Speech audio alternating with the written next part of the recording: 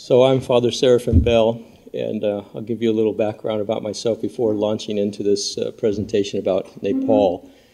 Uh, I did my doctorate in theology in Aberdeen, Scotland, and then began my ministerial life there in Scotland as a pastor in uh, the Church of Scotland, first in Aberdeenshire and then uh, in Edinburgh. Moved back to the States after a few years and entered the Presbyterian Church and uh, served as a pastor in California until I couldn't take being in the Presbyterian denomination any longer, saw the drift where it was heading, and left, and in good Protestant fashion, started my own church uh, in uh, the Silicon Valley in California.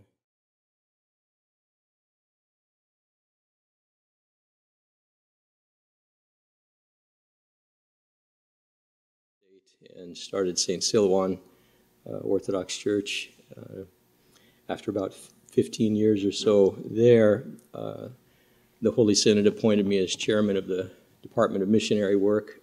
I started another church also in Washington uh, State, St. John Maximovich. And then Metropolitan Hilarion asked if I would go to uh, the Philippines to do some mission work. At that time, there wasn't, uh, we didn't have a priest there. There wasn't a, a full time Orthodox priest uh, in the Philippines, but we had people who were ready to be baptized in parishes that needed to be, uh, churches that needed to be uh, consecrated and so on, uh, altars established. And so I went there for a short period of time and then was uh, sent to Nepal. And I lived there for most of the next two years. Until, uh, unfortunately, because of the pollution in Kathmandu Valley, I became ill with asthma and I couldn't find any of the medication that I needed to treat it and was forced to leave, which felt like a great defeat, actually, uh, and a great sadness uh, to me. And then a few weeks later, uh, the great earthquake took place. Right, the, the epicenter was right where I was living, in fact. And uh, had I survived the earthquake, I don't know whether I would have survived the aftermath. The people lived on the street. The people in the building that I lived in lived on the streets uh, for the next uh, at least three weeks or so and if you know anything about Nepal, living on the streets is not conducive to a long life. Um, there's no sanitation, there's no clean water, there was no medical care, food, that sort of thing. So I'm not sure how I would survive that. So I took it as a, a great mercy uh, that God allowed me to leave uh, before that struck. Uh, I made, before I went to live there in 2013, I made a couple of trips prior to that. The first trip was in 2006. When I went to meet this uh, young man, Shubas, who uh, was a young Hindu priest, I found out about this in my visit, one of my visits to Vatopedi Monastery uh, on Mount Athos. I would go each year after, after I'd lived there. For the next many years, I would return each summer and spend some time there. And on one of the occasions, uh, one of my friends who lives there, Father Matthew, who's an American monk at Vatopedi, uh, said after I had just arrived, oh, remind me to tell you about what's happening in, I thought he said India at the time, but I'm sure he said Nepal, uh, tomorrow when we get together. And uh, I said, yeah, okay, and walked away and thought, forget that. I'm not the least bit interested in what's happening over there. I had a friend who had been a missionary to India, a Protestant, and used to tell me stories that convinced me that I would never be called to that part of the world. I wanted nothing to do with that part of the world. Uh, so the next day, um, at the end of the day, he said, Oh, Father Seraphim, I forgot again. Remind me tomorrow to tell you about what's going on there. I said, Sure, Father Matthew. I walked away. I thought, That's never going to happen. The next day, he grabbed me early and he said, Oh, I've got to tell you. Thought, oh, this is the last thing I want to hear about, but go ahead. So he told me that there was this young man who uh, was a Hindu priest living at that time uh, in uh, northern India. He was uh, a very exceptional young man. He, he had quite a following of disciples there. He was a fairly well known, uh, well known uh, Hindu priest and well known because of his skills in astrology. And um, he also was very, uh, I would say, evangelistic. Many Nepalis are forced to leave Nepal to find employment in order to feed not only themselves but their families, and they send the money back. And they find work mostly in Islamic countries. And uh, many of them were converting to Islam. And this disturbed Shubas uh, a great deal when he heard about it. And so he started traveling to various Islamic countries to bring them back to the fold. And in order to find out why they were converting, he started studying Islam. And when he was uh, spending some time in Qatar, he was reading Islamic materials and speaking with uh, uh, many Muslims there. And he said that he gained the impression that they were very upset about this person named Jesus.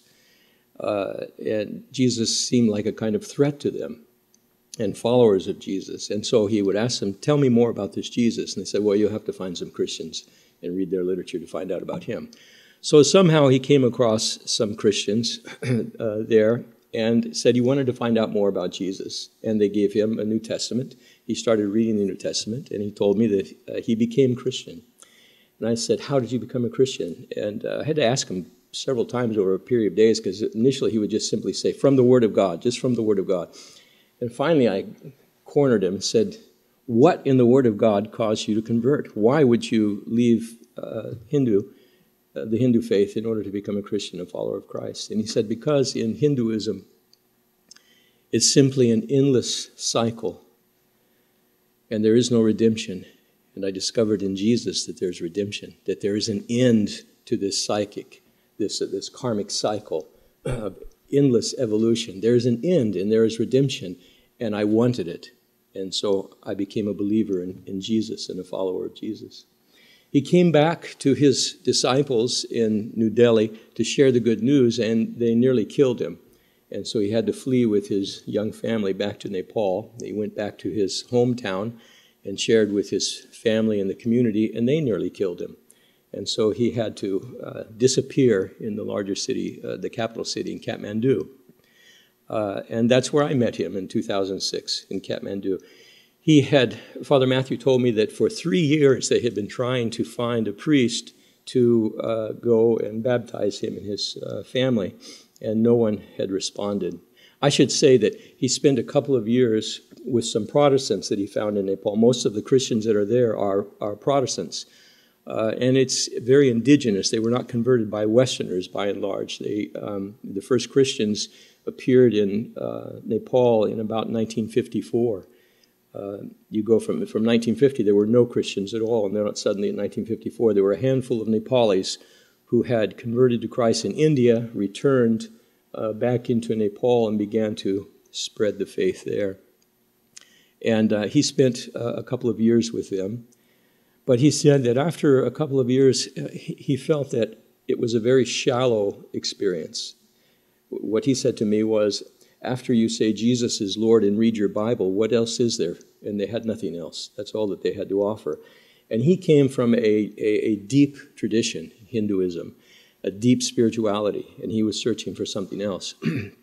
so he decided that there must be some other expression, other form of Christianity that he didn't know about. And so he Googled it.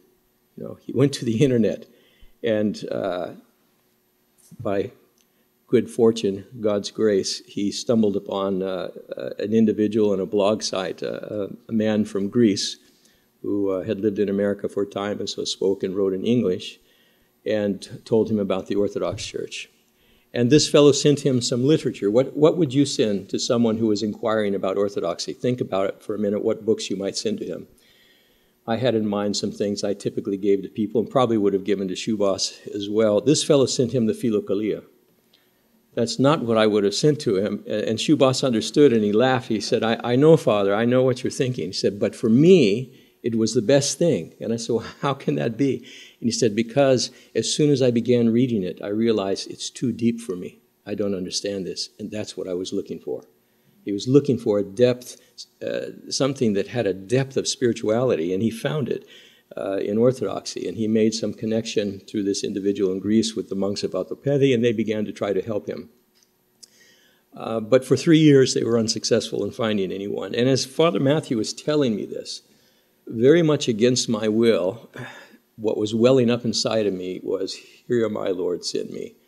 Uh, I had other priests in my parish um, and so I was free to do some travel. And so I said to him as he was speaking, Okay, Father Matthew, I'll go. And, and he said, What? I said, Okay, I'll go. He said, Oh, oh, okay. Uh, and so I went.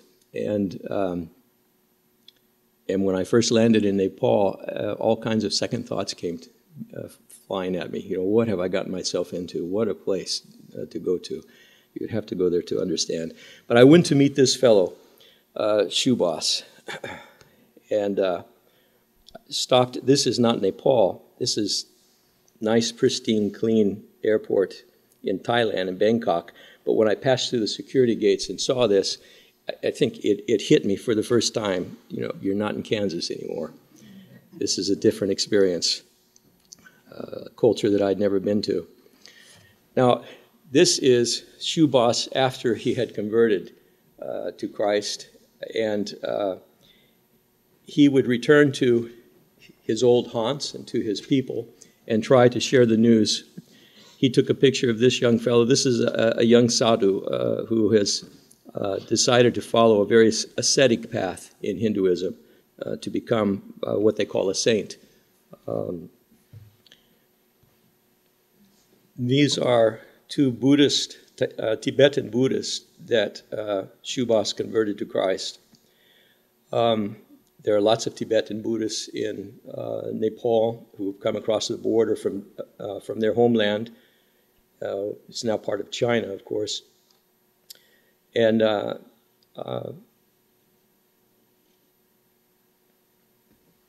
for us, Buddhism is a different religion. We think of Buddhism and Hinduism as, as two different religions, but that's not really the case. Shubhas says only in the West do they think like that. Uh, and the, the, closest thing, I think, or, or, the easiest way to understand it perhaps, is to think of Buddhism as a, as a particular denomination within Hinduism.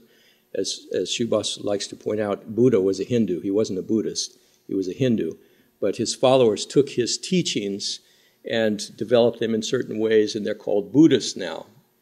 Uh, but uh, if you go to any of the temples in, uh, in Nepal, you'll see the Buddhists and the Hindus together.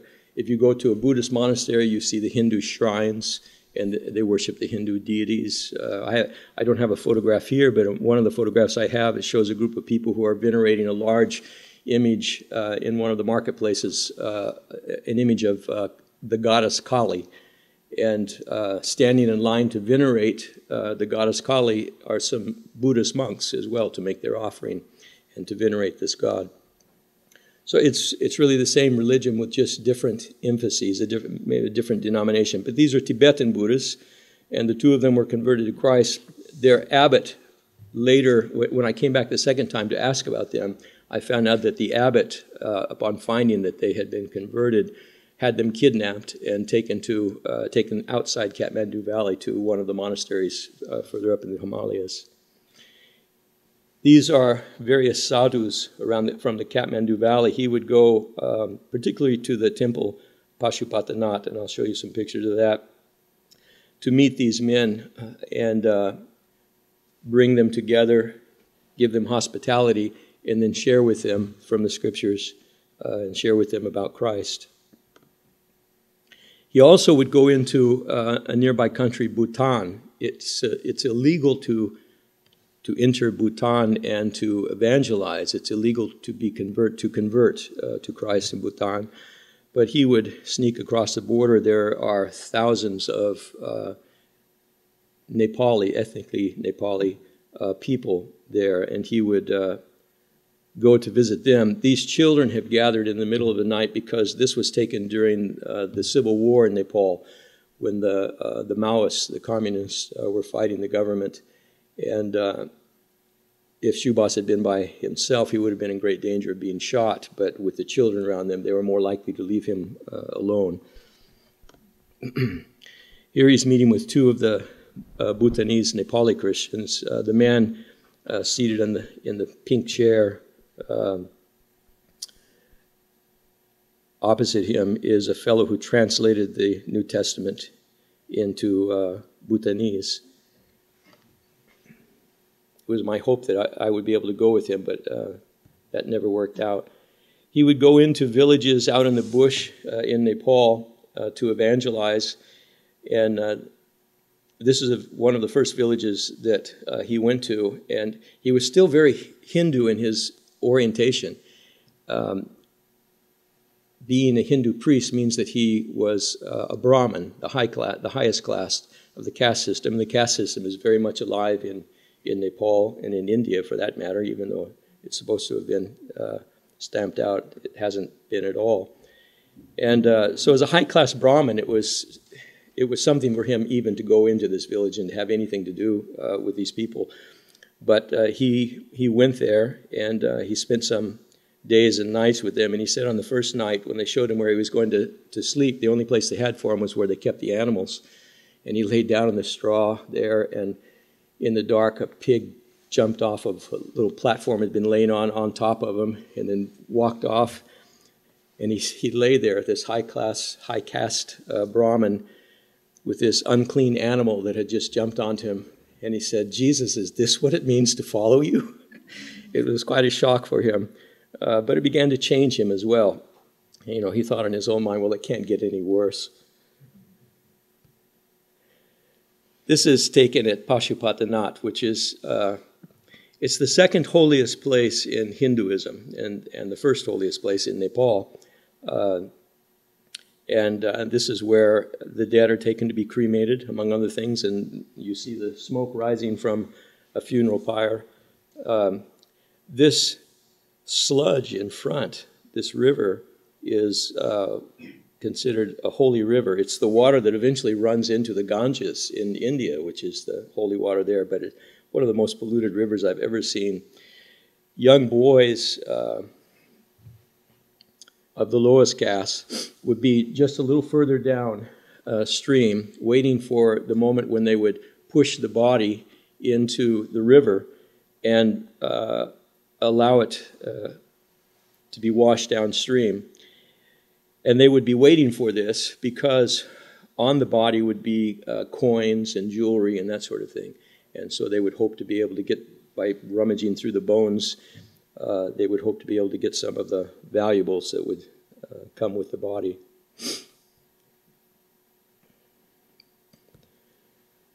These are some of the shrines around Pashupatinath. There are hundreds of different shrines. Um, individuals will go and make offerings, and uh, women who are uh, asking uh, Shiva for a blessing to receive children will come and make offerings in these temples. This is looking back onto the temple complex. It's not one just just one temple, but a variety of temples and uh, monastic dwellings, um, monasteries. Uh, it's quite a place. It it looks much better in the picture than in reality. Uh, things are very unclean there, and you're walking around with the ashes of the burning bodies falling around and the, the smells, and uh, it's not entirely a pleasant experience. Shubhas said that he used to think this was the, the holiest of holies, and now he finds it a, a pretty disgusting place to spend time in. He would go there almost every day after his conversion to uh, talk to the people about, about Christ. And he was very successful. His wife also, Kamala, was very active um, in the university in evangelizing among women there, especially among the communist uh, students.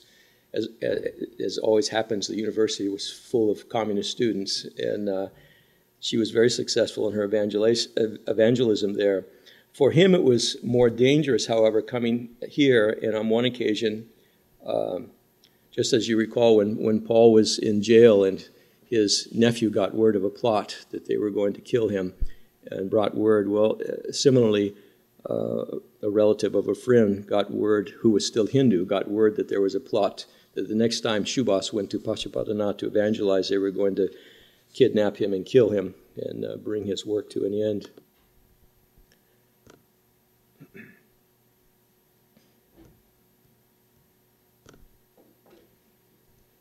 If you can see over on the left, there's a there'll be a close-up. what does that remind you of? What does that look like? More the funeral pyre. This is one of the monastic dwellings, and I, I, took a picture of it because it reminds me so much of Mount Athos and the kind of monastic dwellings I would see there. The same kind of uh, architecture. And that reminds me of a Russian Orthodox monastery It's a temple within a monastic enclosure there. Found a lot of similarities. And for some reason, they didn't understand why I didn't want a, a defanged, smelly snake wrapped around my neck. But I didn't. Uh, we walked on through the other side of Pashupatinath into the, uh, into the area where the monkey god reigns, and there are all kinds of uh, these monkeys, and these are not tame monkeys. Some of them, I'm sure, are demonic. Uh, you had to be very careful. They would attack you, steal your camera, steal your food, uh, and attack you if you put up any resistance as well. Shubas would come here. I, I, showed you a picture of him uh, giving hospitality to some of the sadhus, and uh, many of them lived in this building in the back. And the, the, first time he went there, no, no laymen are allowed there, and he went there dressed as a layman, and um, they wanted him to leave and get rid of him, but he, he began to speak to them and to use Sanskrit, which is a holy language. Just to, for them, just to say uh, a word in Sanskrit uh, is a holy moment, uh, such as their regard for the Holy Writ, um, Sanskrit. And when they saw that this layman, they didn't realize he had been a, a, Hindu priest, and he was an expert in Sanskrit, having been raised by his grandfather, who was uh, a Hindu priest and taught him from the time he was a child. Uh, they were shocked that he knew the language uh, of the holy book, and so or the holy books, and so they would they would uh, motion him to come in, and they would sit you know, we would hear from you. And uh, so they would bring him in. This, uh, the trident of Shiva. And there's the monkey god himself. This is the area, I, I lived near here in Patan, Darbar Square. And this is this big pillar with uh, Shiva on top is no longer in existence, and this temple is no longer in existence. The earthquake brought them down uh, they've been there for centuries and survived many earthquakes, but uh, the last couple were too big for them. Uh, the scene doesn't look like this at all anymore, unfortunately. But this is the area that I lived in and would come here on a daily basis.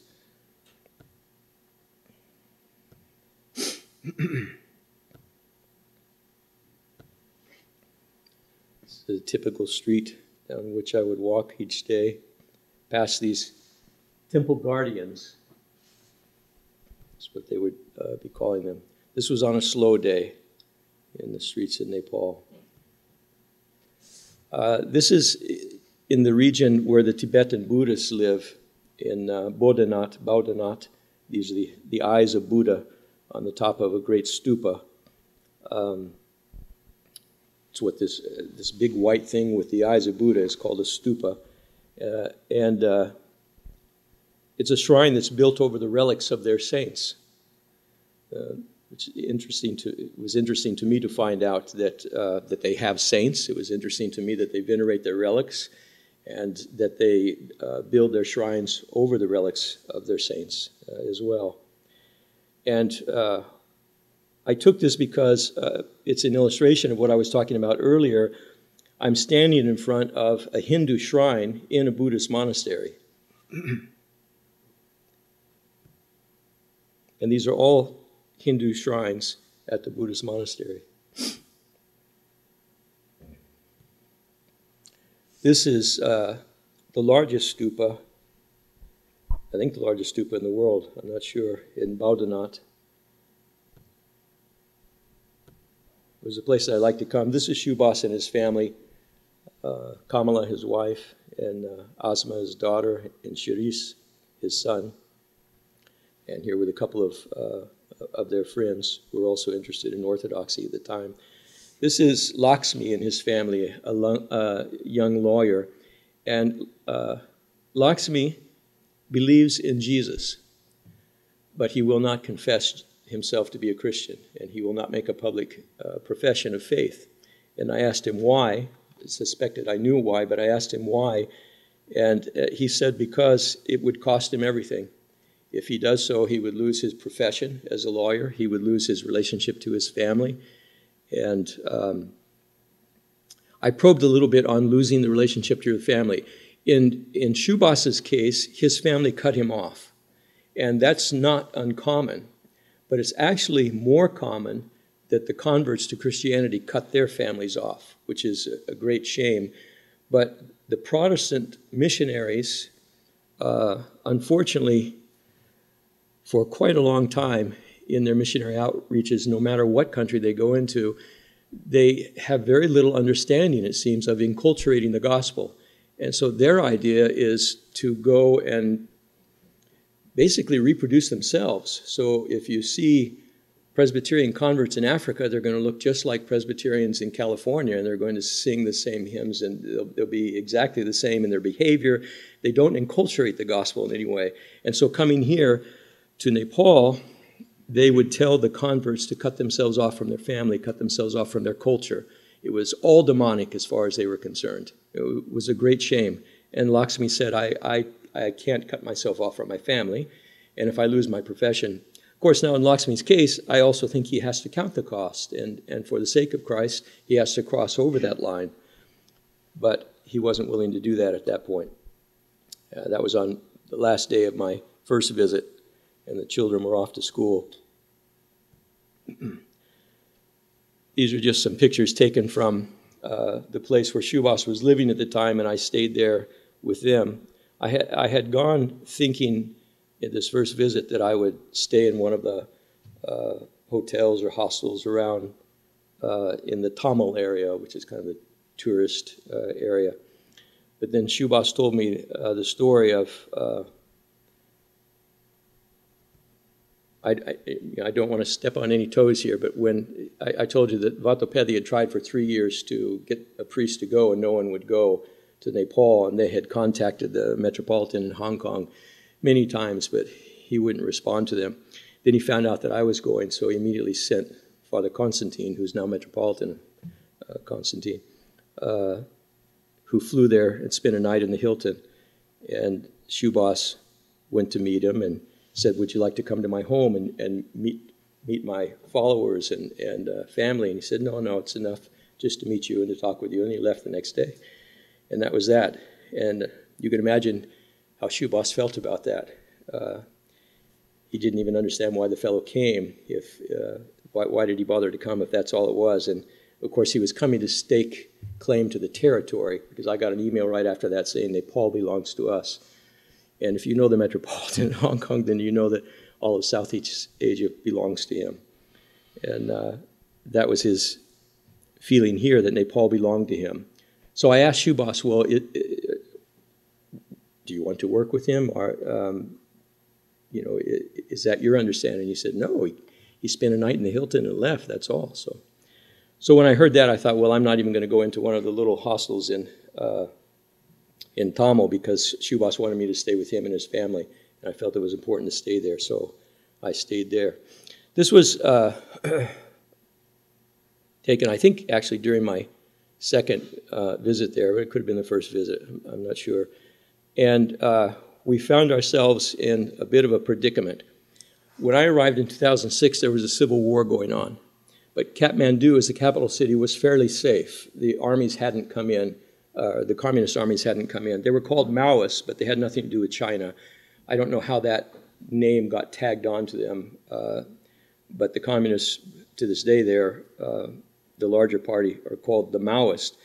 Uh, when actually their, their contacts were with the communists in India and uh, a radical group in Peru, if you can believe it. Um, so the Maoists pretty much controlled the western and the far eastern parts of Nepal, but they hadn't managed to break through the, the army's uh, protection of Kathmandu. However, as I said before, there were lots of communists in the university, lots of communist students. And uh, a lot of the, uh, the military wing were starting to infiltrate into Kathmandu through them and starting up demonstrations uh, which would turn violent. And uh, we were driving over to one of the ancient cities in Kathmandu Valley called Bhaktapur and pulled up onto a road in this taxi and all of a sudden found ourselves caught between four different buses of communists who were heading for, I don't know where, but going someplace to cause trouble. This is actually a two way street, but when the communists are out, it's their way or no way. And uh, so they just took over and they would run people off the road, run cars off the road. And we got ourselves boxed in uh, between these buses, which was a little nerve wracking. Um, Shubhas was pretty concerned about how dressed as I am, if they got a good look at me, what would happen. But we made it to Bhaktapur, which is uh, one of the ancient cities in Kathmandu Valley. And uh, they took me around. When I moved here uh, in 2013, I would come over to Bhaktapur fairly regularly and uh, eventually met uh, some Christians there. Most of the Christians live outside of Kathmandu, uh, actually, although that's changing. As the years go on, it's multiplying, and their numbers are multiplying inside Kathmandu. but I found it to be uh, evangelistic simply to walk around.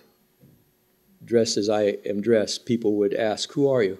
What are you? Tell me. And uh, they're very open to hearing about the faith, they're very open to religion. Uh, these are some of the temple guardians, one of the, one of the temples. There are dozens of temples around. This is, we were there on a market day. this is the center square in uh, Bhaktapur.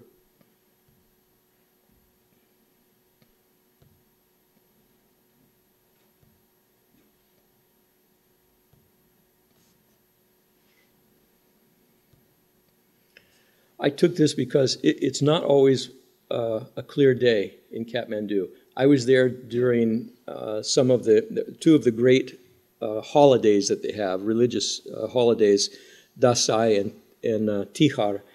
And uh, for a couple of weeks or so, everything shuts down. Everyone goes to their village. And that means there are hardly any cars in the street. Not many shops are open. And so the people aren't driving, which means that the smog lifts and you can see. And I took this picture in particular because Kathmandu sits in a valley. So it, you know that if you're in a valley, you can't see what's on the other side. You're in the valley, all you can see are the walls of the mountains that form the valley. It's not possible to see on the other side unless what's on the other side are the Himalayan mountains, and that's what's on the other side. That's part of the, uh, the Himalayas, as they call them, uh, Himalayan range, and the, the snow covered mountains that are so much higher than the valley that even sitting down in the valley, you can still see them, which is amazing to me. Unfortunately, it's not always this clear, so I didn't often get to see them. We decided to go out of the valley. Shubhas wanted to take me to meet some of the uh, uh, Christians that he knew outside uh, of Kathmandu and tell them about Orthodoxy. There's only one road in and out of the city. And so as we were trying to go out, the communists had uh, started, they had blocked traffic and they were setting things on fire there. And uh, I was wondering how we were going to get out. And I saw that some, you can't make them out, but I can see that there's some uh, soldiers and police officers that had walked over to investigate. And when they walked over, I thought, oh, good, they'll, they'll clear things out. And uh, they went over, talked a little bit uh, with them. And uh, then they just came back and stood by our buses. I, I asked Shubhas, what's going on? Why haven't they cleared them away? And he said, no, they're already afraid. They won't make a move against them. They're already afraid of what's coming. Uh, in, in their minds, they've already given up. And they're looking ahead to the time when the communists control the city, and they don't want to be blamed for having attacked uh, this first wave of communists who have come in. And so they let the protests go on. Traffic was stopped, but our bus driver wound around through a neighborhood and we came out on the other side and we're able i'm, I'm looking back now at the roadblock and uh, we're heading out of the valley. And we climbed out of the valley and uh, after a while stopped at this roadside stop so that the people get, could get uh, some food. And uh, i was going to get something to eat. I hadn't eaten all morning until i noticed that the young boy was washing the dishes right next to the outhouse at the stream so I thought I would call it a fast day, and we'll wait. It just seemed a little safer to me. We drove to uh, Lumbini, which is the birthplace of Buddha. I didn't know that Buddha was born in Nepal. He wasn't born in India. He was born in Nepal. And uh, this whole area near his birthplace, or around his birthplace, has been uh, set aside as a, a memorial to him. And, um, and now the government's turning it into a kind of uh, Buddhist Disneyland in a way. I mean, not with rides or anything, but all the Buddhist countries are building uh, temples. Um, I think this temple is the Vietnamese temple. Uh, and uh, it's quite a large complex. This is the uh, the Thai government built this uh, temple. It's a beautiful building. It was, I commented to Shubhas that I noticed right away there was a difference between uh, what I perceived sensually in, uh, near a Hindu temple. I wasn't allowed to go into a Hindu temple, only Hindus are, but you could enter into the Buddhist temples. In the, around the Hindu temples, I always felt a, a, a, demonic spiritual activity, sometimes very powerful. At Pashupatinath, it was almost overwhelming to me. Uh, I had to find a place to sit down. I, I felt uh, dizzy and disoriented, and, and uh, until we could spend some time in prayer, uh, I couldn't uh, even go on. It was a very powerful demonic uh, experience, and, and that's something that I encountered many times in Buddha, in Hindu context. But in the Buddhist temples, there was simply an emptiness. Um, it was just a, a, clean, sterile building. There wasn't any anything uh, uh, even of a spiritual nature, negative or positive. I'm not sure why that is, and maybe that was just my experience. When we left that area, we came back to uh, our the town that we were staying in, and uh, our taxi was stopped far from the city center and uh, no traffic was moving. We, we got a rickshaw and made part of the way uh, with the rickshaw, and then we had to walk the rest of the way. Uh, and found another rickshaw and, and came and discovered this uh, communist gathering going on right in front of our hotel. And so uh, this is why all the traffic was stopped. and uh, we came to find out that they from, since the last time Shubhas had been there, the, the, communists had taken over this area, and this was one of their strongholds. And so they were having a big rally at this point. And he said, "Wait here. I have to pay the rickshaw uh, driver, and then we'll go into the hotel." And so I walked over near this meeting. I felt so much anger about this because uh, being in the West and knowing the history of communism. Uh, their, their, promises are empty. You know the routine they're going to give. They're go, in a poor nation, they're going to give them everything. They're going to give them free education. They're going to give them food. They're going to give them jobs. They're going to give them health care. Uh, and you know the empty promises, and what they don't tell them is they're also going to enslave them. And I was infuriated by it. And uh, as I watched it, I realized everywhere I had gone, wherever I walked, the people would stop and turn and look at me uh, any, not because of me, but the way I'm dressed, any uh, a Westerner uh, in these clothes and with a cross uh, is unusual there. And so they would stop. And I realized, you know, all I have to do is go walk in the middle of them and I can shut this thing down. They're all going to turn. And I don't know what happens after that, but I can disrupt the thing. And so I started, and then I felt a hand on my shoulder. And Shubha says, I know what you're thinking, Father. Don't do it. We have to think about our wives and families. And he used to do that sort of thing all of, all of the time, of course, until Kamala begged him no longer to go uh, into. I, I, didn't tell you about this, but Shubhas had forged some journalistic uh, credentials, and he would go into the military camp, the communist military camps in the hillsides uh, all over Nepal, and uh, present himself as a journalist who wanted to interview uh, the commander and he would interview him and his soldiers. And then during the course of the interview, he would turn it around to share about Jesus. And he was successful in converting some of the soldiers uh, as well. He was also successful with escaping with his life on some occasions. But uh, he would do that fairly regularly until Kamala finally begged him, No more. You have two young children. You have me. What am I going to do without you? Uh, you know, if they kill you.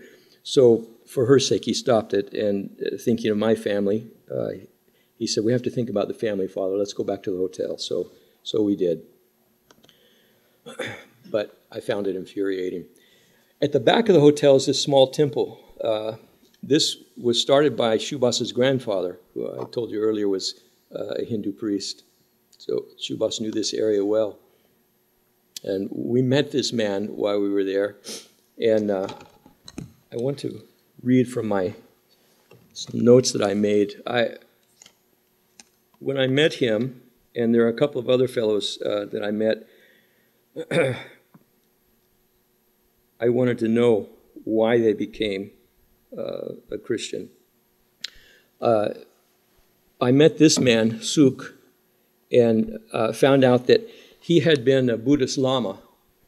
And I didn't find out how he was converted to Christ. Uh, I, I, if I recall, he had, a, he had an uncle who uh, converted him, and he became a believer in Christ, but he and his family were beaten. They lived in a, they were Buddhists. He was the Lama, and so they lived in a Buddhist village, and the, the Buddhists turned on them and beat them and drove them into the hillsides they, where they had to live in caves uh, for about a year until they discovered that in another village far away, they heard rumors that there were Christians who lived there. And so they went to that village, and it was predominantly made up of Christians who had had to flee their villages as well, and finally found each other and started more or less a Christian village, as it were. And they lived there for a time. Uh, after the war was over, some of the men who used to beat him came to him and said that they wanted to follow Jesus as well. And so became uh, he's now a pastor, and they became part of uh, his church. Uh, I met this fellow the next day, and I want to make reference to my notes here because I, I asked him how he became a Christian, and he did tell me. He explained he explained to me that uh, he also was a Buddhist Lama and that he had become ill with cancer. And he reached the last stages uh, before his death. That uh, they sent him home from the cancer clinic back to his village because there was nothing more they could do for him. And uh, the cancer was at such a stage that it was it had already devoured some of his ribs and was devouring some of the organs. And he was in extreme pain, and they didn't expect him to live very long at all. His wife immediately sought help uh, through witchcraft and shamans, and uh, nothing uh, helped him. And one day there was a, a, Christian pastor who, a Nepali Christian pastor, who uh, found her along the roadside crying, uh, knowing that her husband was about to die, and uh, explained the situation to him. And he said to, he told her about Jesus, and he said, perhaps he didn't promise her, but he said, perhaps if your husband would accept Christ, that he would, he would heal her as well. We call him the great physician. Perhaps he would heal him uh, as well. And so she went to, ho- to her home and she told her husband about it, and he rejected it out of hand and wanted nothing to do with it. But the next day, the pain was so great that he said, Please bring him. I'm willing to try anything, anything. And so the pastor came and told him about Jesus, and he accepted Christ, and he said immediately he felt peace and some relief from the pain. But the next morning, he awakened and rose up from his bed completely well. He was completely healed. Uh, but that began a time of persecution. Uh, for the next month, um, he was spat upon, he was often beaten. He was not allowed in, in a village. In these villages, you have to understand there's, there's one place you go to get drinking water. But he was denied access to that. There's one place that you go to buy goods, foodstuffs to, to survive, and he was denied access to that. So just trying to survive now was uh, uh, a daily task and, and challenge. And after a month, a tragedy struck again. His young son had climbed up into a tree and fell, and he broke his leg uh, near the hip, and he also broke his arm. and they're way out in the bush. Uh, it takes a couple of days to get even to a clinic, let alone any kind of hospital. Hospitals really didn't exist out in the bush. They, you'd have to go to Kathmandu for that. And by the time they were finally able to get him uh, to see a physician, he was examined and they said, There's nothing we can do. The, the wounds are too old. The bones grew back, the leg was deformed and turned up, and the arm was useless, and he had to hobble uh, on a crutch and there was nothing that could be done for him. Uh, they eventually took him to Kathmandu and had him examined, and the doctors at the hospitals in Kathmandu told him the same thing. These are old wounds. There's, there's no way that we can help him. Uh, it's gone on too long. They met there a Korean Christian physician uh, on the streets by happenstance. And uh, they explained the situation to him, and he examined the boy and said, What they've told you is, is true. But perhaps if you fast and pray, God will hear your prayers and heal your son.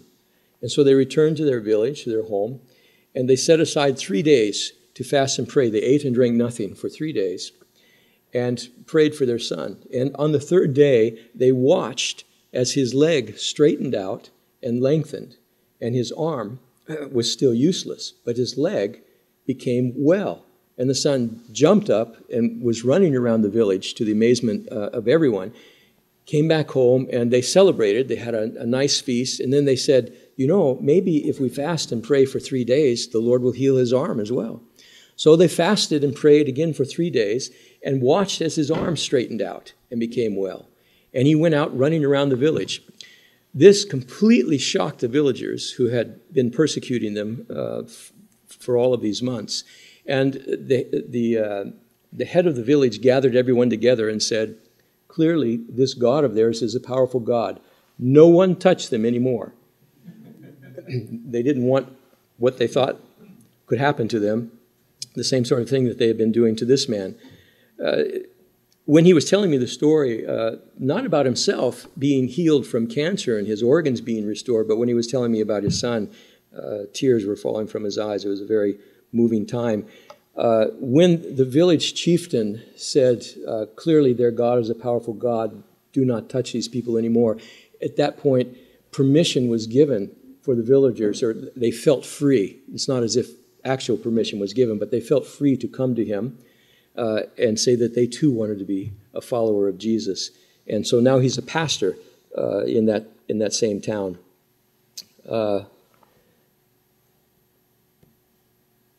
This is another uh, fellow that I met. I don't recall his name. Um, let's see if I have his story. When I asked him how uh, he had become a Christian, uh, one of the things that was interesting to me is as I said to you early, earlier, these people did not become Christians through Western missionaries. It was very much an indigenous work. Nepalis who had been converted in India came and shared the gospel with them, but many times it was through this uh, miraculous means where the Lord Himself uh, would do something such as you just heard uh, a wonderful healing that would lead the family uh, to Christ. Um, this fellow had something similar uh, happen to him. Uh, let's see if I can find it. He said that he was converted when he found uh, a Christian tract, a, writing on the road. He was walking along the road and he saw it lying on the road and picked it up and read it, and he was moved by it.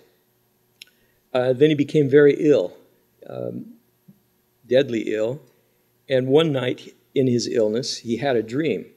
And in the dream, the pastor who had left the track on the side of the road appeared to him and uh, told him to rise up and be healed.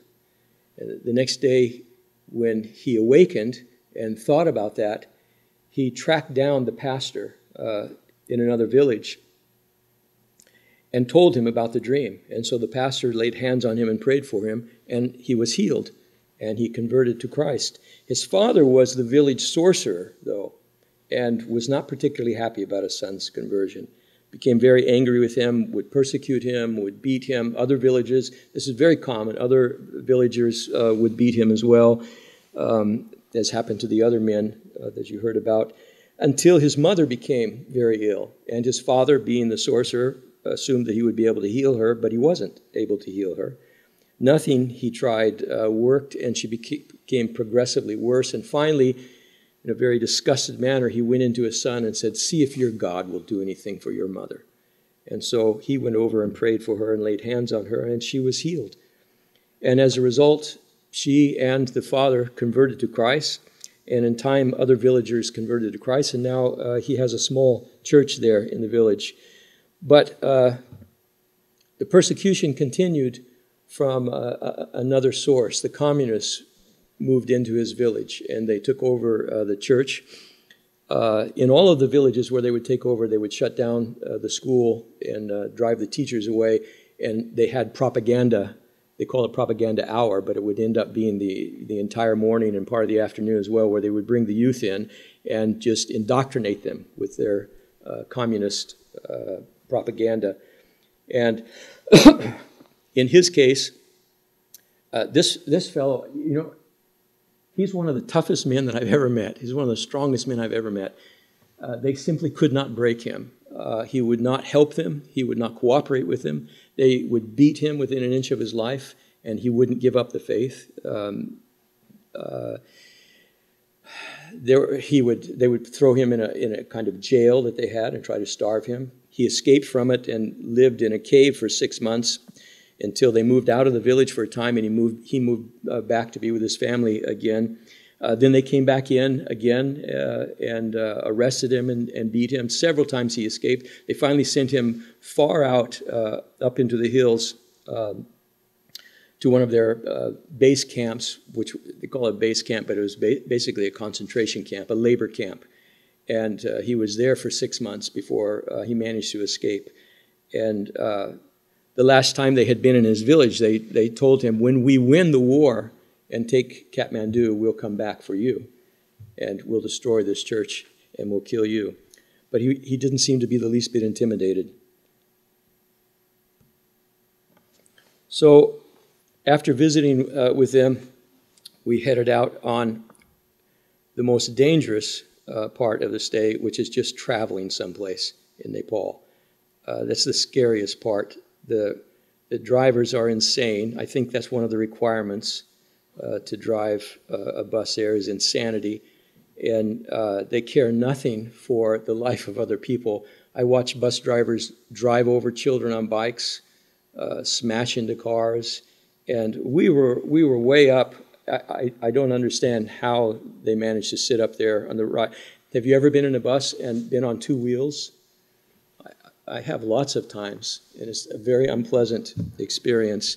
And uh, we're right on the edge of the road, and you look down hundreds and hundreds of feet to this tiny stream, ribbon of a stream down there. I remember uh, the first time, uh, and Shubhas leaned over and looked at me, and he looked out the window and he said, "The buses like to swim in the rivers here." And, and they do. Every week, buses drive right over the side of the cliff, uh, and the people on top of them, everyone inside of them, uh, are killed. Um, they seem to have no concept of the importance of life. it, doesn't, it doesn't seem to really matter for them. But it's a frightening experience. And we were on a bus for many hours to get to this village. It's a, a refugee camp uh, for Nepalis who have been driven out of Bhutan. There's an ethnic cleansing going on in Bhutan for quite a few years. Nepalis, uh, you know, borders are somewhat artificial. There's a big issue in our country right now, but borders are somewhat artificial. And Nepalis were spread out and suddenly woke up one day and discovered they were living in another country and they were not welcome in that country, even though they had been living there for centuries. Um, the Nepalis in Bhutan are being driven out and have been for the last number of years. There were about, at the time I was there the first time, there were about 100,000 in three different uh, refugee camps. And we were going to visit uh, one of the Christians who was a Christian pastor uh, in this refugee camp.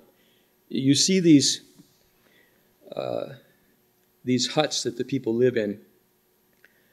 The Nepali government receives millions of dollars from the West for the refugees to build houses for them, to give them clothing, to give them food and medicines. And how much do you think actually gets to the refugees? Virtually nothing gets there. It lines the pockets of the politicians.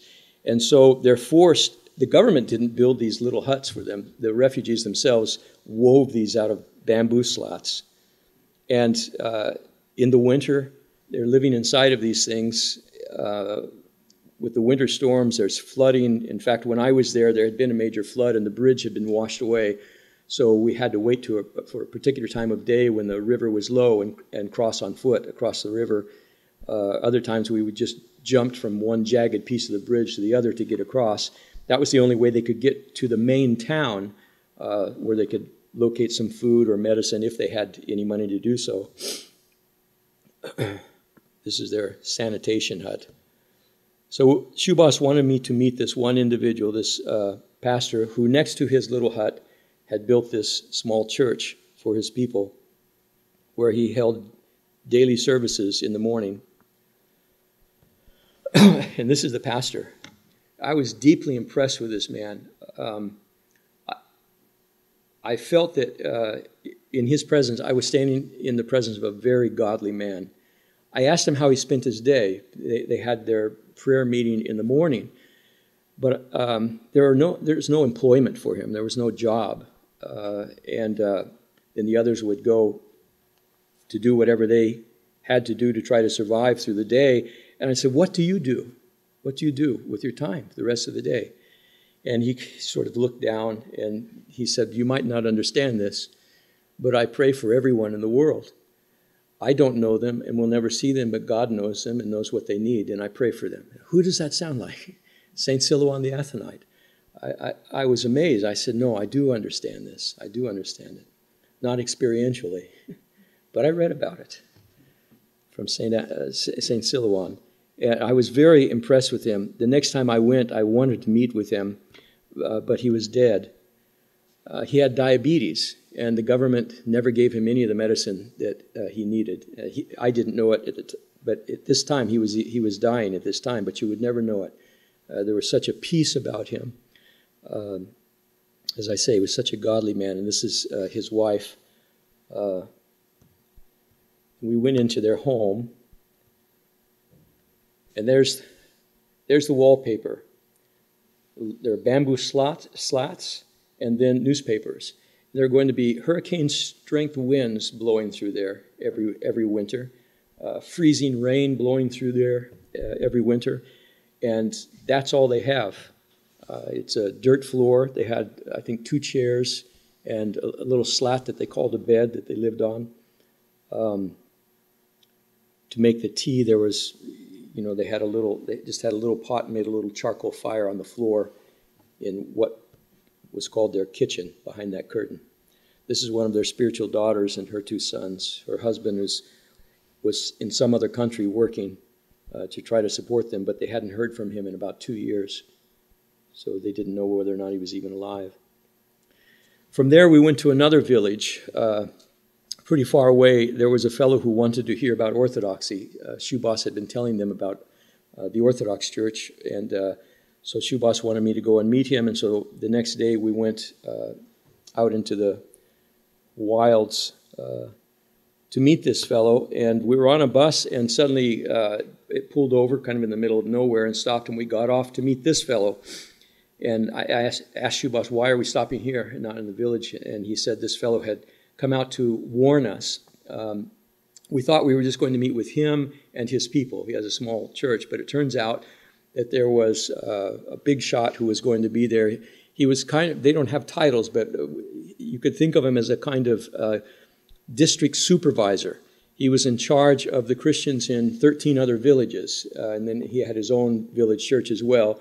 And the pastors were his spiritual sons. Uh, he had converted them and discipled them and, and placed them in these villages. And uh, he had found out Shubhas was pretty well known. Uh, it's not real common for a high caste, a, a Brahmin priest to uh, convert. And he was pretty well known as a convert to Christianity.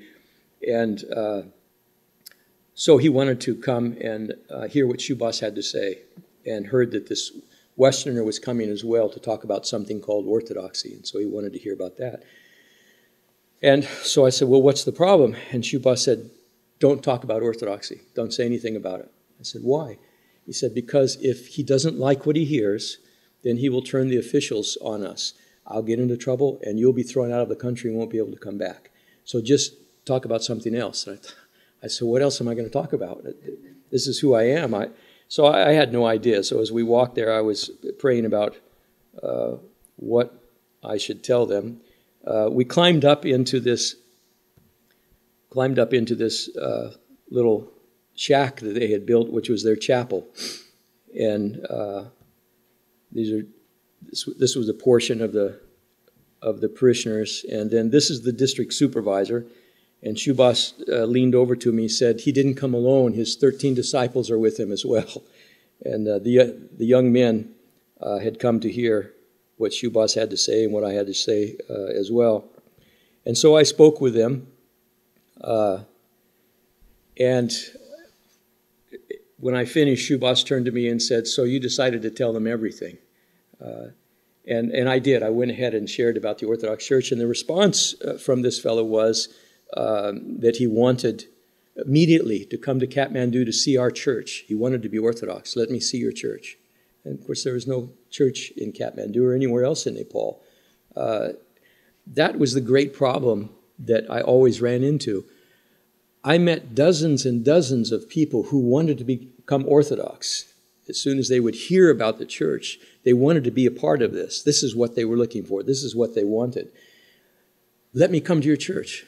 Where do you worship? I had that question all the time. I hated that question. I, I worship in my bedroom, you know, doing my prayers by myself. There's nothing to show you, there's nothing here. Uh, and then that raises all kinds of questions as well. How can that be? If this is the church, how can it be that it's not here? Because there are Christians here. It's a, it's a difficult situation. This is the pastor's home. Shubhas wanted me to see how he and his wife and children live in this one room. So he lifted up. There are no windows to the place in his. There were windows in the other places. Here's the house next to him. That's their living quarters. That's everything. From there, we we hired a what we thought was a four-wheel drive vehicle, and it wasn't. Just looked like one, unfortunately. And we spent hours trying to get to another village that Shubhas wanted to take me to. We we spent an hour or so following this dirt road into the bush, only to find our way blocked by boulders. And Shubhas and the driver couldn't move the boulders, so we had to double back and, and spend another four hours going another way.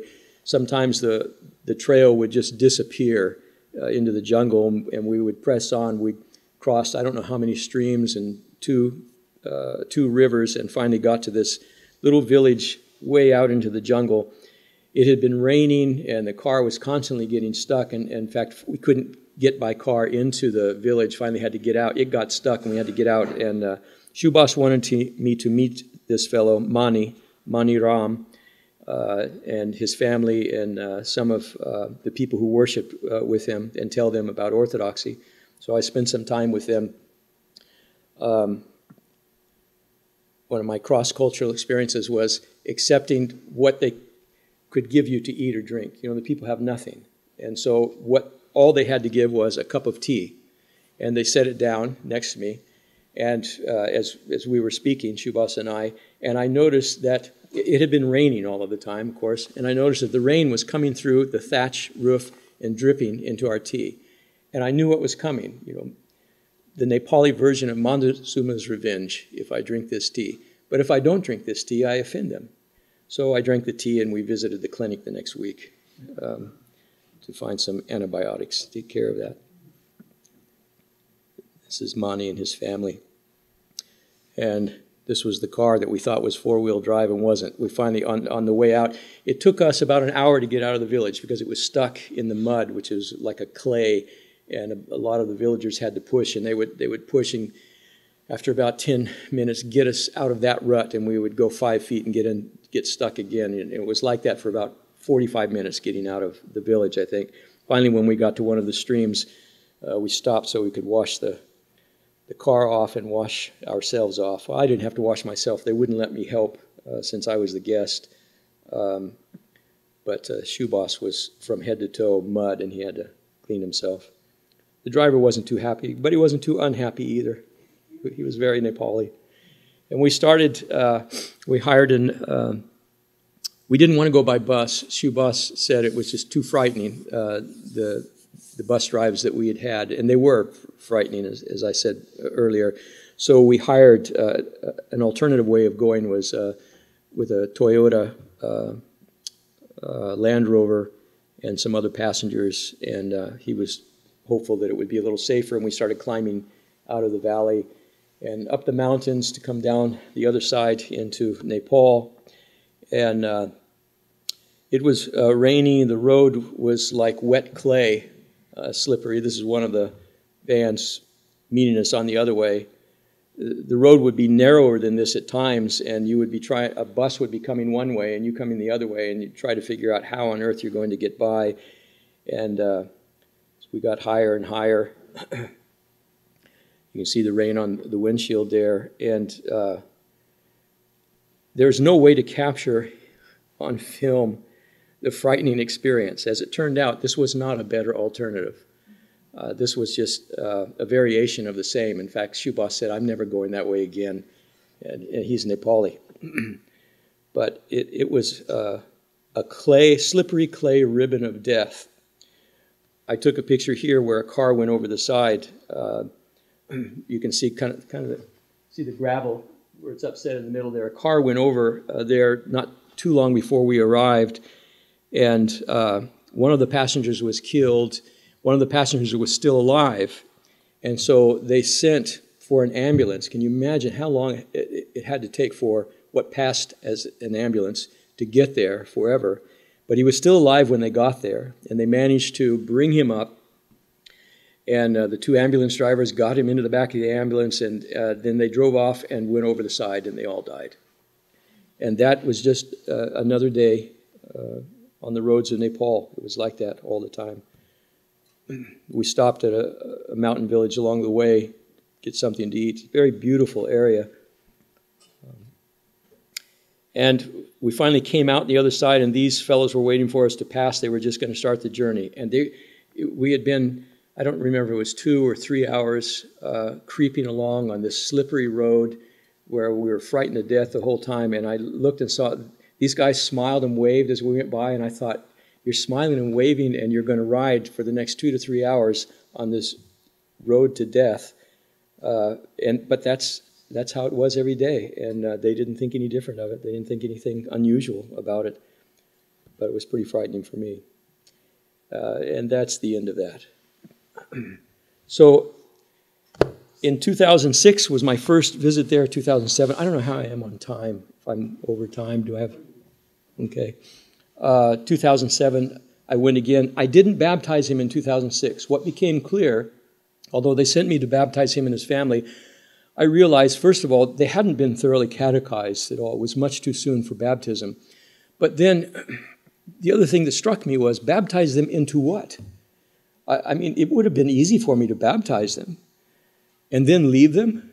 There's no church there, there's no priest there, they have no one to instruct them, they have no place for fellowship. Uh, it, didn't seem the best course. It didn't seem wise, a wise thing to do. I went back in uh, the next year, 2007, and spent a longer period of time there catechizing them and catechizing some of the other people. And uh, I took a deacon with, well, actually, he joined me at the end of my uh, trip, uh, deacon from my church, uh, Deacon Silouan. He's now Father Silouan, who's, uh, some of you may know Father Silouan Thompson, who's a missionary priest in the Philippines. So I took uh, Silouan along with me uh, to help with baptisms.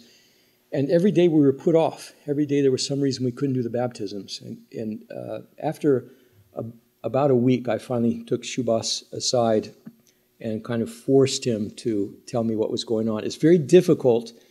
Uh, I think this is uh, this this is somewhat characteristic of all of Southeast Asia. Um, saving face is very important. They don't want to embarrass you. They don't want to, to lose face themselves, and uh, so they don't want to displease you. And so it's very difficult for them to tell you something that perhaps will upset you. And he didn't want to tell me what was really going on what was really going on was uh, difficulty with Kamala, his wife. When he had uh, left Hinduism to become a Christian, his wife didn't follow him. She was adamantly opposed, and it took two to three years before she finally uh, consented to become a Christian, and probably longer than that for her to actually uh, really believe in her heart. She was she was uh, opposed to that for lots of reasons. You know, it cost her her family cut her off completely we tried to visit her family when I was there, and they wouldn't have anything to do with us. Uh, we did. We, we we went to one sister's house, Shubhas and I, and uh, I, I, was really sorry we went. I told Shubhas I don't want to try to do that again because she was scared to death the whole time we were there. She was scared to death that the rest of the family would come and find us there with her, and she would suffer the consequences. And I said I don't want to put her in that kind of situation but uh, she had lost her family. She hadn't seen her family uh, in years. Uh, so now Shubhas was asking her to do something uh, that seemed to be too similar to leave the faith that she knew as a Protestant and become Orthodox. But there were no other Orthodox Christians in Nepal. There was no Orthodox church in Nepal. What was she going to? She was going to give up everything and go to what? Just the two of them in their bedroom, and that's it? Uh, it didn't make sense to her. She didn't understand the necessity for it. Uh, she wasn't convinced at all. And, uh, and it, while it's true on the face of things that uh, the Hindu culture in Nepal is a patriarchal society, uh, the other truth is behind closed doors, it's a matriarchal society uh, in many cases as well. And so Kamala carried a great deal of weight there, and there was no way she and the children were going to come with him if he was going to make this move, and he didn't want to tell me that, so he kept putting us off. so no baptisms took place in 2007. I made arrangements to come back in 2008. And then two things happened. One was um, I injured my knee and needed surgery. but at the same time that that happened, the same week, I got a phone call from Shubhas who said, You can't come, it's too dangerous. Uh, the communist uh, military had broken the, the government and had entered into Kathmandu, and they were in charge now. And uh, all hell had broken loose at that point. Christians were being killed. It's, thank you, Pablo. Uh, it wasn't safe uh, to be there. Even when I had been there, 2006, 2007, he used to say, I'm not comfortable with you dressing like that. You know, take, take your cross off, take your cassock off. And, which, and I just, I said, I'm not comfortable dressing like you want me to dress, so I'll, I'll stay like this. And by God's grace, I didn't have any uh, difficulty when I was there. But he said, Don't come in 2008, let's see what happens. so I spent the next few years trying to get him out of Nepal to study uh, at a seminary. We tried to get him here several times, uh, and it didn't work because I, I, remember the last time he tried, uh, it was it was the same week that Georgia pushed by our government, invaded uh, Abkhazia, Ossetia, and the war. There was a brief war between Russia and uh, Georgia. And when he went into the American embassy in Nepal, uh, the uh, the embassy official simply threw his application at him and said, "We don't like Russians." Wasn't a very educated response. I mean, uh, I'm not Russian. Shubhas isn't Russian. He was wanting to come to America, but it was to the Russian Orthodox uh, seminary, and that was all he needed to see was Russian on it, Russian Orthodox, and so he simply threw his application in his face, and that was the end of that. So then we tried to get him into Russia, and we never had any problem on the church end. I mean, there was a scholarship waiting for him and a place for him to come to seminary, but uh, there was always a bureaucratic problem, uh, and it, the process would break down and he'd have to start again, which was an expensive process for him. We tried Romania, we tried Greece, nothing was working out. And so finally in, in 2013, as I mentioned earlier, I moved back uh, there. And uh, I had talked to him on the phone a couple of times before moving there. I got there and I expected to spend time with him and to, actually to be working with him. And I didn't see him uh, until the day before I left. Um, I had left a suitcase with some things uh, with him, and uh, partly I, I, did that as uh, as a need to see him again, a way a way to see him again. And so I phoned him and said I, I needed to get that suitcase from him if possible, and uh, he said yes, he'd bring it next weekend. It came and went, and we did it again. It came and went. Finally, Kamala showed up with her son Shirish and then I realized what was going on. Uh, Kamala had put her foot down, and she wasn't even going to let Shubhas come and see me. She didn't even want us to be together, to speak together. So the entire time I was there, I was not able uh, to meet them until just before the day before I left. I called them up and said, "I'm leaving the country. Uh, I've got to go get some medical treatment. I've got a suitcase full of things. You know, I'm still scheming that maybe one day uh, uh, I or someone will come back for that suitcase uh, and have to see him. Uh, because I know in Shubhas's heart he wants to be Orthodox. I know, I know what Shubhas believes. I know where he is. The, the, the uh, stumbling block at this point is with Kamala and her determination not to be a part of it. Uh, and she, she has a strong case because at the moment we still have no Orthodox presence um, in Nepal. it's a very frustrating situation because the people are so open. And I, I, feel like we haven't entirely missed the opportunity, but we, we've we missed the most opportune time. But it's still a good time to plant uh, churches there in Nepal. But a small team needs to go. I went by myself, and my belief is you never go by yourself. It's foolishness to go by yourself for lots of reasons. But my understanding was that I would be working with Shubhas, and also there were quite a number of people who said that they were going to come and help. I had laymen and priests who uh, were going to come uh, and help, and no one ever came. No one ever showed up. And uh, being there on your own is not advisable at all. Spiritually, it's not healthy. Uh, you don't have access uh, to the liturgy. You can do reader services, but uh, you don't receive the Eucharist. And um, you know, when one is when one is down, another can lift him up. But if there isn't another there to lift him up, you just kind of keep going down, down, down. It's a it's quite a struggle, and it's intense spiritual warfare there. Uh, it, spiritual warfare is something real. It's we in a way that we don't typically encounter it here in the West. Let me tell you about uh, my my language teacher, Umesh, who was my Nepali teacher. Uh, I never spoke to Umesh about the faith. He had taught Nepali to a number of Western uh, missionaries uh, through the years, and they were always trying to convert him, he told me. And so I determined that I was simply going to relate to him as a person, not as a, a potential scalp on my belt. And uh, he was my Nepali teacher, and we became friends. But the thing is, he would always ask me about orthodoxy. Uh, he was expecting me to come forth with it, and I wouldn't, so he was always asking me questions, you know what is baptism? What really happens in baptism? What, what does it mean, resurrection? Tell me about resurrection. I, I was amazed at some of the questions and uh, wonderful questions and wonderful opportunity. He said to me at one point, uh, I could never become uh, a Christian. And I asked him why, and he said, uh, because uh, I would have to cut off all of my family.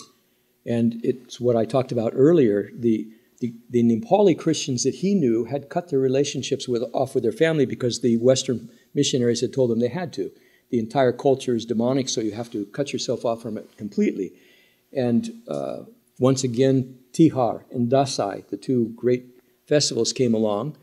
And the main thing that takes place in those festivals is that the entire family gets together for at least two weeks. There are two special weeks. And for those two weeks, they have daily meals together.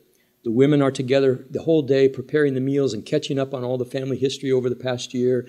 And the men are together. It's a wonderful family time. And there are offerings that are made to the gods, which, of course, I said, you couldn't do that as a Christian.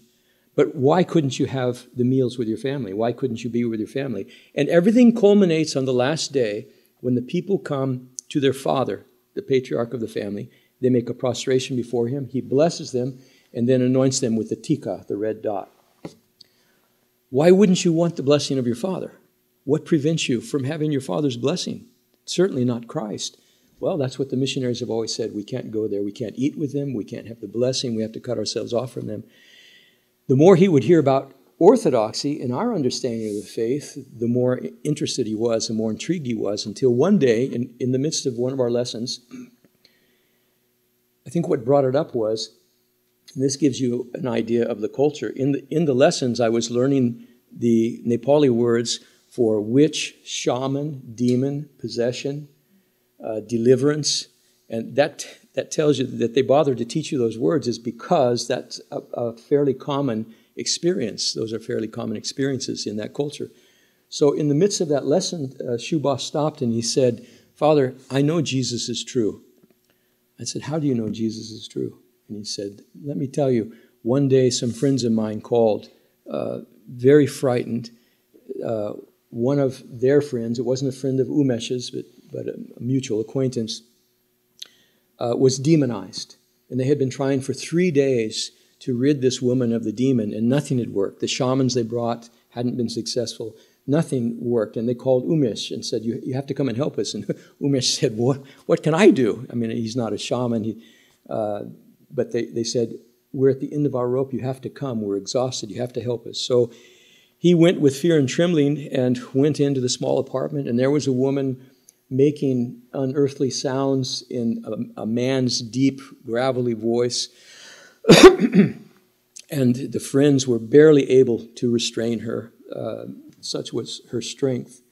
And he was terrified, and there was an outburst that started. And so, silently in his mind, you understand, he didn't say this out loud, out loud. Silently in his mind, he began to think, Jesus, tell the demon to leave. Oh, now, why would he do that? He had a few Christian friends, and he remembered that they always told him that Jesus had authority over the demons, that Jesus had power over the demons. And so it wasn't exactly that he had uh, strategically decided to test the theory. It just came to his mind that he should say that in his, in his mind to himself. He started thinking, Jesus, tell the demon to leave. All of a sudden, the woman started screaming, Who's doing that? Who's calling to Jesus? Who's telling him to tell me to leave? He's telling me to leave. And she screamed, and the demon left. The friends were completely stunned. They had no idea what was going on. Shubhas, or Umesh was, was shocked, and he didn't tell the friends. Uh, that would have opened up a whole other can of worms to tell his Hindu friends that he had just called upon uh, the God of the Christians, uh, even, even though it worked. It, that wasn't a box that he was willing to open up, and so he never said a word. But he left and he said, From that moment on, I know that Jesus is real, that Jesus is true, and that Jesus has the, author- uh, the authority over the demons. But he still could not bring himself to step across and make a public profession of faith because, in his mind, it would mean cutting himself off from his family. When Umesh's family would gather together, they had all left the villages and they had moved into Kathmandu some years ago. And uh, Umesh says, when we gather together now, we can't meet in a home anymore. We have to, we have to hire a hall. There are 150 of us who gather. It's a large extended uh, family. And the idea of him cutting himself off from his family uh, and not receiving his father's blessing was abhorrent to him. And I told him it would be abhorrent to us as well. There's no reason for that. So he said to me, Father, you have to bring some people, some other Orthodox, and you have to start a church here so we can come and see. And I said, That's a good idea, Umesh. Uh, I'll have to think about that. But like the fathers at Vatopedi, I couldn't find anybody who would come either. And so when illness drove me away, that door seemed to be closed. Uh, it isn't entirely negative. When uh, I won't go into it, but I found myself in the hospital uh, yet again in uh, January 2015. And while I was there, I got an email from uh, a young fellow, a young man in uh, Nepal uh, and uh, he's a missionary there. And he said, You won't remember me, but you met me in a coffee shop one time. I was working at the coffee shop. I gave you a cup of coffee. And uh, he explained that he had been uh, working with a, a Nepali church. They'd encountered a lot of problems. And in order to figure out how to address these problems, he started wondering how did the early church address these problems? So he started a study of church history, which led him to orthodoxy. And he liked a lot of what uh, he saw and he wanted to find out more and he found my website uh, there's a in fact if, if you want to have a look at it uh, it's orthodoxnepal.org um, and you'll see a lot more about uh, my time there in 2013 14 uh, i wrote back to him and said i actually do remember you it was the first week that i had arrived in, in 2013 i went to a coffee shop where i could find some, a wi-fi connection and uh, got a cup of coffee. And this young fellow, he's an American, behind the counter said, What are you? And uh, I said, I'm an Orthodox priest. He went, Oh. And he went and got my coffee and gave it to somebody to give to me, and that was, that was it. And I was really disappointed that that's as far as it went. And I thought, well, maybe if I keep going back, you know, he'll keep asking questions. But then I moved to uh, Kumaripati, which was a little further away, and it wasn't convenient to come back. Coffee was expensive anyway. And uh, so I never saw him again, but I never forgot about him. And I was always frustrated that nothing had come of it. So we've been uh, corresponding weekly since that time. He's crossed the line and wants to become Orthodox. Uh, he and his family want to become Orthodox. Uh, pray for Tim and his family. It's, it's difficult. Um, if he lets this out, and he's, he has let out to the mission committee that he's looking into Orthodoxy, uh, they will cut off his finances, and he and his four children would be stuck in Nepal without finances even enough to come back. He's not sure how to become Orthodox, but he's absolutely determined to become Orthodox. So, glory to God, some fruit has come from that. And uh, God willing, um, he, uh, he and his family will come into the church, and maybe he'll go back. Maybe he'll go back with the team and be the one to start a, a church there. Thank you for your time uh, and your patience. I appreciate it. Thank you.